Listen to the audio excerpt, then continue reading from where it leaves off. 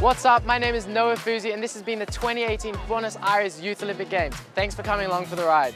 Aussie, Aussie, Aussie! All coming together for this opening ceremony has been completely surreal.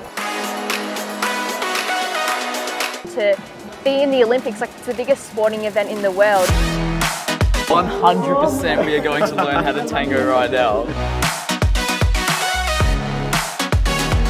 There's never a dull moment anywhere because there's so many different activities that there is to do. Seeing the culture in La Boca, it's really vibrant and it's a really amazing place.